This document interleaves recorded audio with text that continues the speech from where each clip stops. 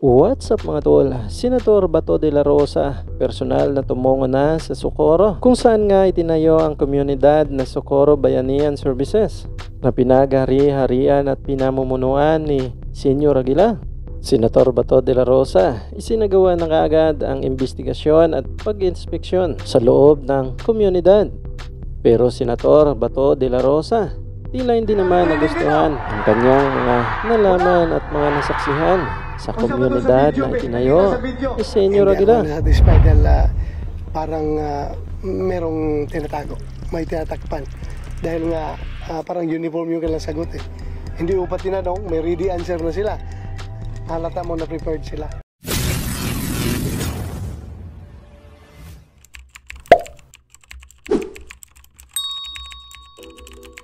Nagsagawa na nga ng investigasyon at pag-inspeksyon si Senator Bato de la Rosa sa kanyang personal na pagpunta sa itinayong komunidad ng Socorro Bayanihan Services na pinaghaharian at pinamumunuan nga ni Senyor Aguila. Pagkakababa pa lamang ni Senator Bato de la Rosa sa kanyang sinakyang chopper ay kaagad winelcome at sinalubong nga kaagad ang grupo ni Senator Bato de la Rosa ng mga sumasayaw na tila mga sinulog. Bukod rito ay sinalubong rin sila tinandugan ng mga kanta.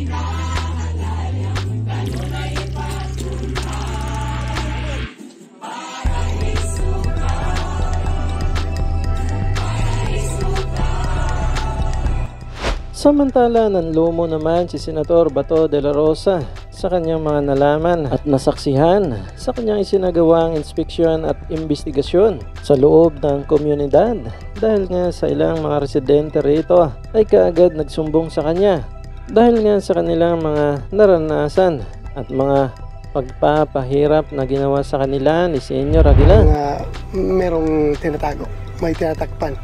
Dahil nga ah, parang uniform yung kanilang sagot eh. Hindi upat tinanong, may ready answer na sila. Halata mo na prepared sila. Sabi daw ng asawa ko na wala ka bang tiwala kay Senyor Aguila. Hindi, ah, siya ang Panginoon natin.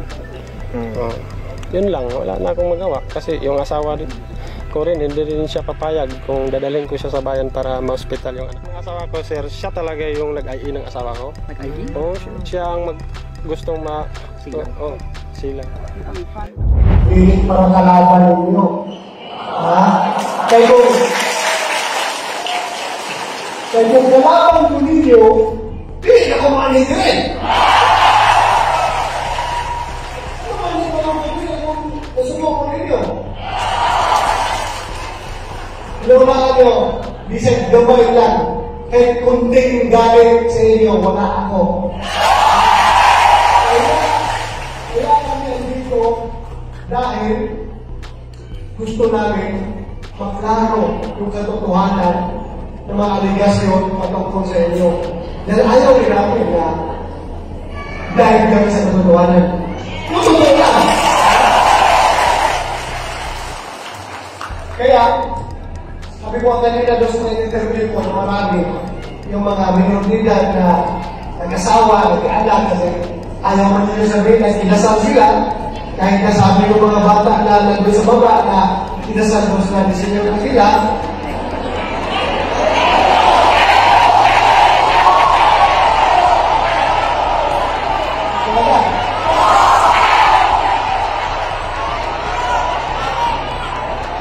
Ah, isa pa kayo isyo.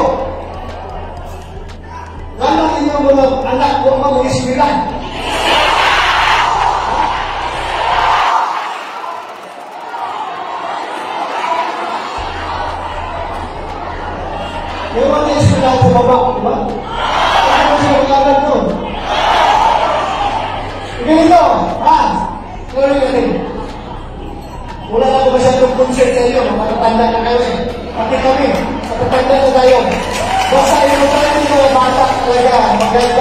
Ang kabukasan.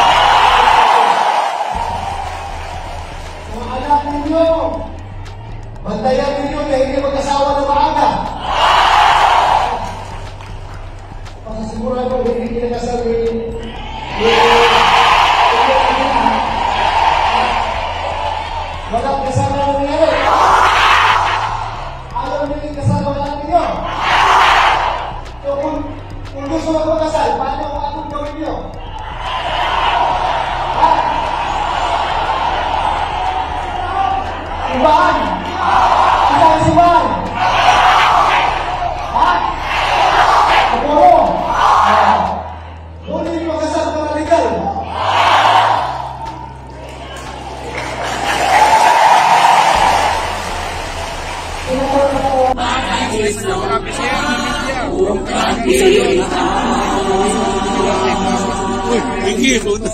Sa mga kabataan, wala yan ay sama kayo.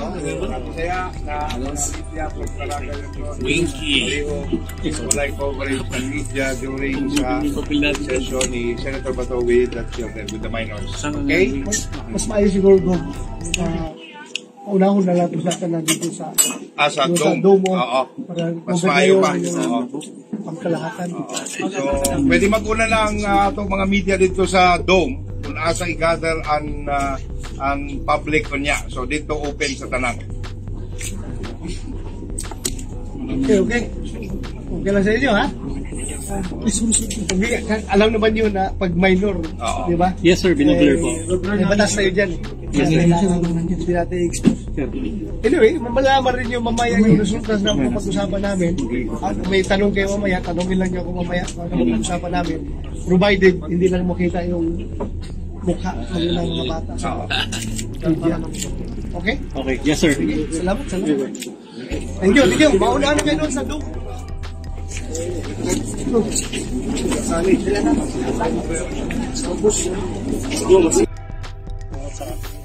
Asawa sang mangkot hapon. Ito ko tanang, ito man tinood na bilis na yan sa ata na Ano kay?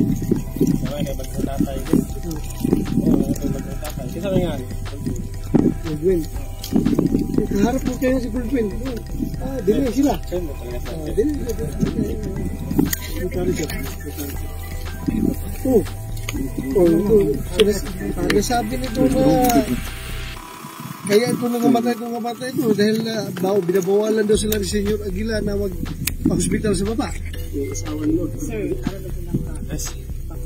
Ay, kini siya, ay, amahan ha, aman. Siya ang amahan. Asawa mo ikon Siya ang amahan ng bata, ha? Siya ang father ng ng bata. Siya na mismo So nagsasabi. sinasabi ko na sir, may mga first aider kami dito. In times of emergencies, we have the nurse, registered nurse. Mayroon po kami mga ganon. Tapos, they have, ma-record ko nila going to Socorro Hospital, RH, Dapa. Ang dami pong mga. You, you have to check sir. Marami po kaming admission sa Dapa, sa Socorro, sa Surigao. Oh, i-check, i-check natin yan later. I-check natin. Pero ito, itong itong statement ng testimonya ng father, anak niya, yan, oh. Ilihor di... Sir, I am Ah, not the authorized person pero sa pagkakaalam ko, during that time na kami, nasa, nasa nalaon siya, nangingisna. So, Sir Rickson, siya po yung kapatid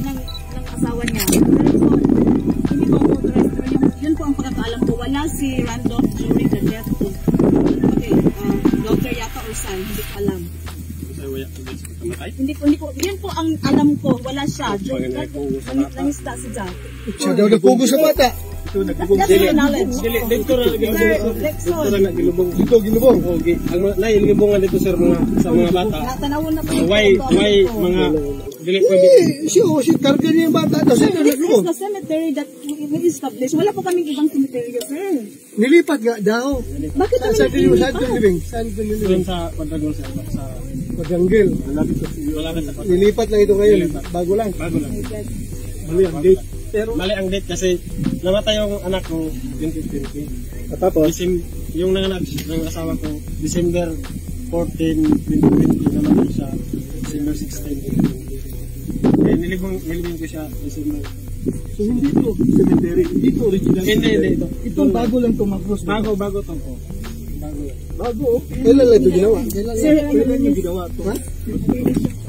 Kaya, kailan, ito ginawa? Sir, after po nung po, wala pa pong permit dito. Wala pa po permit. Nalilibing na kami. Oo.